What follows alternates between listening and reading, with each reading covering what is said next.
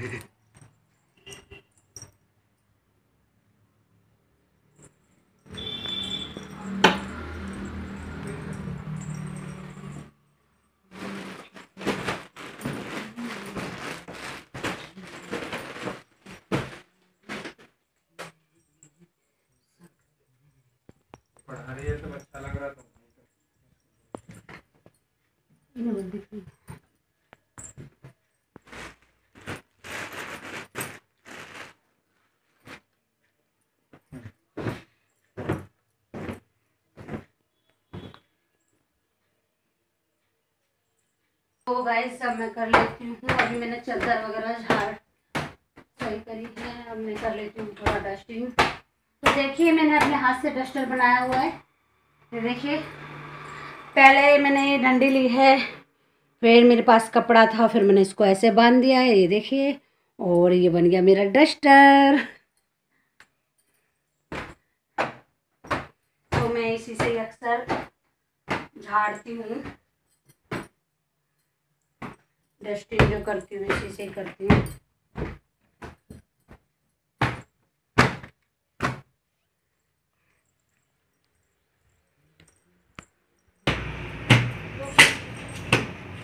तो मेरी मशीन पर रखा है सामान कपड़े, सिलने।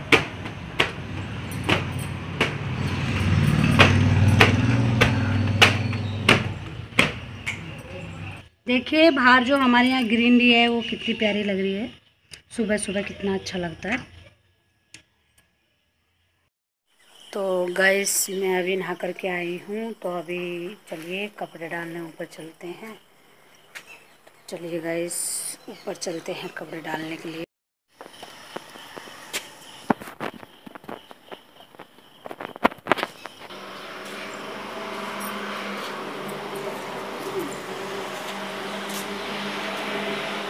देखिए गाइस ये मेरे कपड़े कितने धुल रखे हैं, जो मैंने कल और परसों धोए थे, एक तार के कल धोए थे, एक तार के परसों धोए थे।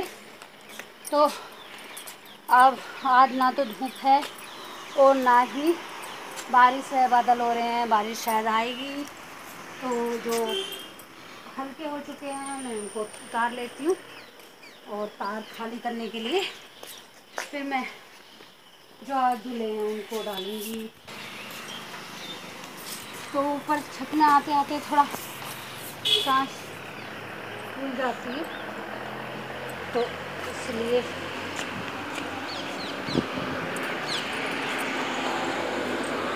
जो निकल लाएँगे कपड़े, वो आज मेरे कपड़े कम ही थे, ज़्यादा कपड़े नहीं थे। तो इसीलिए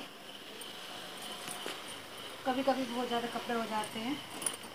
तो आज मेरे कपड़े कम थे, इसलिए जल्दी धुल गए।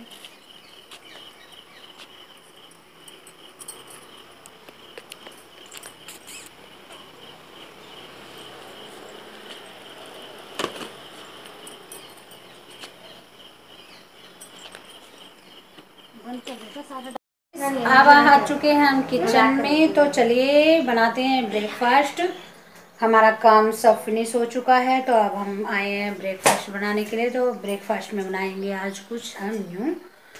क्योंकि यहाँ के लोग तो जानते हैं, जो प्लान्स के हैं, वो बहुत कम जानते हैं। तो आज हम एक न्यू डिश बनाएँगे। तो देखिए। गाइस देखिए, मैंने ये लिए हैं दो, तीन हरी मिर्च, अदरक और ये लहसुन की कली। लहसुन मैं थोड़ा ज़्यादा ही डालती हूँ, ये देखिए। और ये है प्याज, ये टमाटर। प्याज में आजकल क्या हो रहा है कि जो बाहर से तो अच्छा दिखता है और अंदर से थोड़ा ख़राब निकल रहा है। यही टमाटर में हो रहा है कि बाहर से तो बहुत अच्छा दिख रहा है, पर अंदर से ख़राब हो जा रहा है। और ये देखिए, मैंने सब मिक्स दाल ली हुई है उड़द मूंग और जी मसूर, चना, हरड़, ये सब मिक्स दाल ली हुई है मैंने। तो इसको मैं पहले मैं कट कर लेती हूँ ये। प्याज, लहसुन और ये। तो गाइस मैं इनको कट कर लेती हूँ। टमाटर, ये जो तड़का लगाने के लिए हैं, इसको कट कर लेती हूँ। दिया है, ये है, जो मैं उसमें लहसुन, अदरक, हरी मिर्ची, टमाटर, प्याज और ये है कड़ी पत्ता।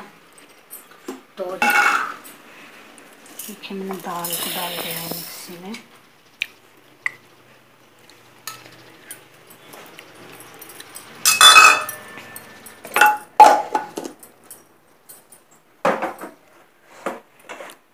ये घर घर करने की आवाज़ में दिखाई।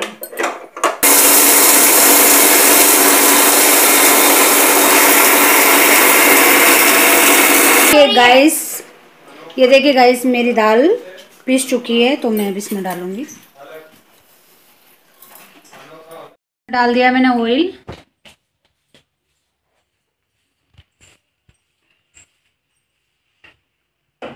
इसको मैं थोड़ा लम्स ना बने डालते समय तो मैं इसको थोड़ा पानी में वो कर दूँगी ये देखिए, मेरा तरीका यही है बनाने का और पता नहीं मेरे को कैसे बनाते हैं, पर मैं अपना तरीका यूज़ कर रही हूँ।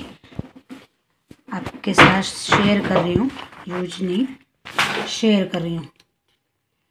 वो मेरा तरीका है। क्योंकि बाद में जो हम डालते हैं, जैसे सूखा डाल के बाद में पानी डालते हैं तो इसमें लम्स बन जाते हैं। और ये फटाफट से हो जाती है। अगर दाल पीसी हुई हो तो बहुत जल्दी बन जाता है। इस, इसे बनाने में ही हो तो तो टाइम नहीं लगता है। पीसी ना हो, तब थोड़ा टाइम तो ये अभी ऑयल गर्म हो रहा है। मैं लोहे की कढ़ाई में बहुत अच्छा बनता है, क्योंकि लोहे की कढ़ाई में आयरन भी होता है तो लोहे की कढ़ाई में बनाती हूँ चैसा में, इसको बोलते हैं चैसा। तो ये देखिए, मैंने चावल भिगो करके रख दिए थे तो अब मैं पानी डाल तो इसमें मैं पानी डाल करके मैंने इधर गैस पर रख दिया है चावल बनने के लिए, और अब मैं डालूँगी इसमें जो ये डाल रही हूँ मैं इसमें पंच फोरन मसाला। तड़का के लिए नींबू डाल दूँगी। अब मैं डालूँगी इसमें ओनियन इसमें दिखा। और ये देखिए, मेरा प्याज जो है गोल्डन हो चुका है। मैं इसमें डालूँगी कड़ी पत्ता।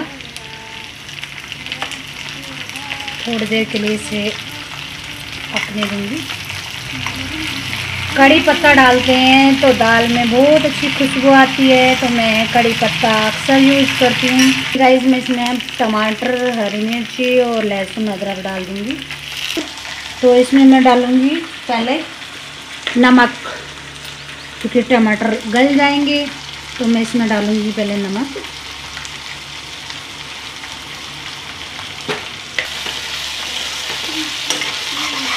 तो गाइस मैं अब डालूँगी इसमें हल्दी पाउडर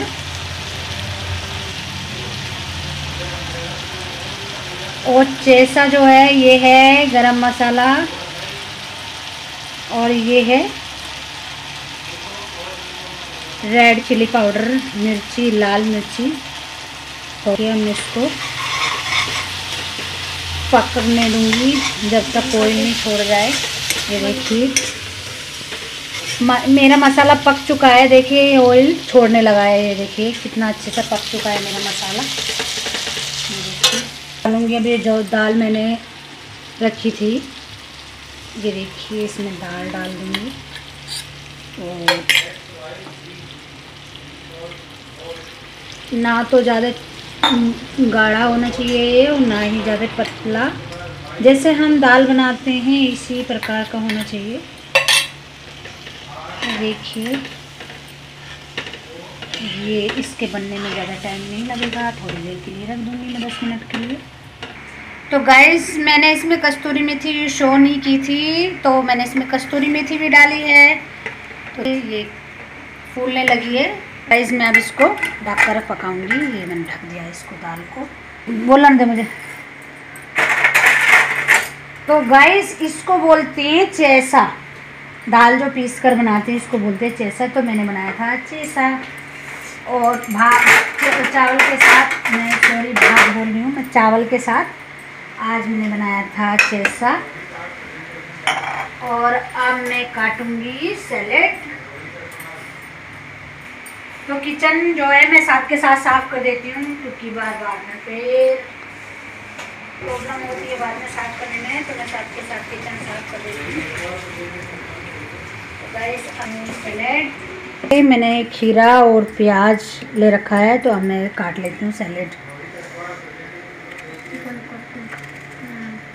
हम्म, मेरी वीडियो बहुत मेरी सैलेड कट कर ये हो गई है रेडी कुछ देर के बाद तो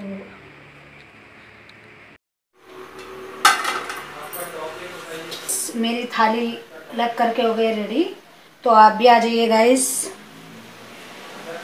और ये है चैसा और ये है सैलेड। ये रेडी। आप भी आ जाइए।